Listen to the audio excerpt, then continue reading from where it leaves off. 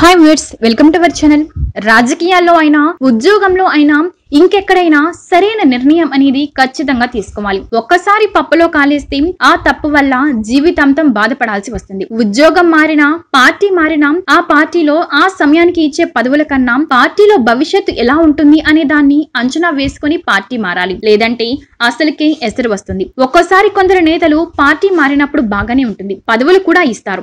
కానీ రాను రాను ఆ నేతలను పార్టీలో పట్టించుకునేవాడే ఉండడు. అప్పుడే వాళ్ళలో అసంతృప్తి స్టార్ట్ అవుతుంది. అప్పుడు మళ్ళీ సొంత పార్టీకి వెళ్ళాలని ఉన్నాం వెళ్ళలేరు ఇలా తమలో తామే మదన పడుతూ ఎందుకు పార్టీ మారాం దేవుడా అంటూ తలలు పట్టుకొని కూర్చున్న నేతలు ఏపీలో కోకళ్ళలో ఎందుకంటే పరిస్థితులు ఎప్పుడూ ఒకేలా ఉండవు కదా? ఓడలు బండ్లు బండ్లు ఓడలు అవుతూ ఉంటాయి అనే విషయాన్ని మనం మర్చిపోతే ఇలాగే ఉంటుంది. ప్రస్తుతం ఏపీలోని తూర్పుగోదావరి జిల్లా రంపచోడవరం టీడీపీ నేత వంతల రాజేశ్వరి పరిస్థితి కూడా అలాగే ఉందట. వైసీపీ నుంచి టీడీపీలోకి పార్టీ మారిన రాజేశ్వరిని ప్రస్తుతం పట్టించుకునే నాదుడే కరువయ్యాడట. వంతల రాజేశ్వరి వైసీపీ అధినేత జగన్కు విధేయురాలుగా ఉండేది. తనకు లక్లో రెండు వేల పద్నాలుగులో వైసీపీ నుంచి టికెట్ దక్కింది. టికెట్ దక్కడమే కాదు తను భారీ మెజారిటీతో రంపచోడవరంలో గెలిచి తన సత్తాను చాటింది. అంతవరకు బాగానే ఉంది కానీ ఆమె వైసీపీ ఎమ్మెల్యేగా ఉండగానే రెండు వేల పదిహేడులో వైఎస్ఆర్సీపీ పార్టీని వదిలేసి టీడీపీలో చేరింది. అయితే టీడీపీలో తనకు ఏ పదవిని కూడా అప్పటి ముఖ్యమంత్రి చంద్రబాబు ఆఫర్ చేయకున్నా కూడా భవిష్యత్తులో ఏదైనా పదవి వస్తుందని ఆశతో రాజేశ్వరి పార్టీ మారింది.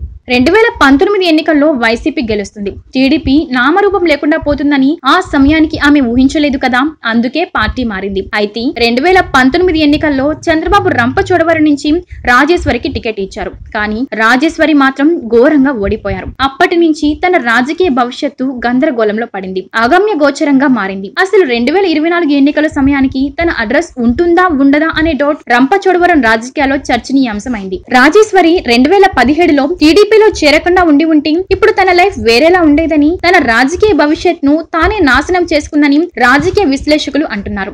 ఏది ఏమైనా చంద్రబాబుని గుడ్డిగా నమ్మి పార్టీలో చేరినందుకు తనకు రాజకీయ భవిష్యత్తే లేకుండా పోయింది. ఒకే ఒక్క రాంగ్ స్టెప్ ఎంత దూరం వెళ్ళిందో చూసారా? ఇలా ఒక్క రాజేశ్వరి మాత్రమే కాదు చాలా మంది నేతలు ఒక్కటప్పటి టప్పటడుగు వేసి తమ రాజకీయ భవిష్యత్ను తమ చేజేతులారా నాశనం చేసుకున్నారు. ఇక ఇదిలా ఉంటే వైఎస్ఆర్ పార్టీ ప్రస్తుతం ఏపీలో అధికారంలో ఉంది. రెండు వేల పద్నాలుగు ఎన్నికల్లో ఏపీలో గెలవడం కోసం ఈ పార్టీ ఎంతో కష్టపడింది. కానీ గెలవలేకపోయింది. కానీ ఎవ్వరూ ఊహించని విధంగా రెండు వేల పంతొమ్మిది ఎన్నికల్లో గెలిచి సత్తా చాటింది వైసీపీ పార్టీ. మొదటి నుంచి తన పార్టీలోని నాయకులకు సీఎం వైఎస్ జగన్ ప్రాధాన్యత ఇస్తూ వచ్చారు. అందుకే వైసీపీ పార్టీ బలంగా మారింది. పార్టీలో అప్పట్లో ఎటువంటి అంతర్గత విభేదాలు ఉండేవి కావు. కానీ ఎప్పుడైతే పార్టీ అధికారంలోకి వచ్చిందో అప్పటి నుంచి పార్టీలో కూడా కొన్ని సమస్యలు ప్రారంభమయ్యాయి. నేతల మధ్య విభేదాలు రావడం ఒకరిపై మరొకరు హైకమాండ్కు ఫిర్యాదు చేయడం ఇలా నేతల మధ్య దూరం మాత్రం రోజు రోజుకి పెరుగుతూనే ఉంది. దీనివల్ల కొందరు సీనియర్ నేతలు పార్టీని నమ్ముకున్న నేతలు అడ్డంగా బుక్ అయిపోతున్నారు. వాళ్ళు ఎటూ తేల్చుకోలేకపోతున్నారు.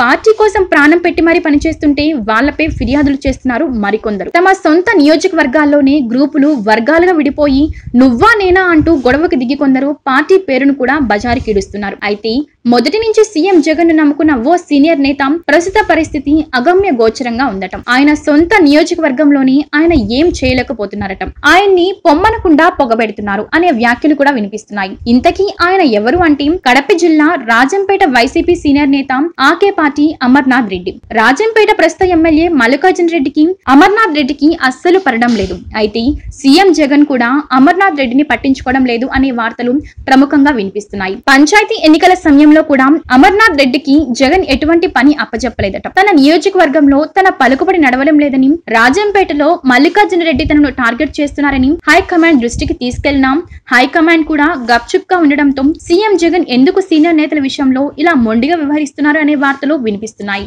సో వ్యూవర్స్ చూశారు కదా ఈ వీడియోపై మీ అభిప్రాయాన్ని తెలియజేయండి. ఈ వీడియో కనుక మీకు నచ్చినట్లయితే లైక్ చేయండి షేర్ చేయండి. ఇలాంటి మరిన్ని లేటెస్ట్ న్యూస్ కోసం మా ఛానల్ సబ్స్క్రైబ్ చేయండి.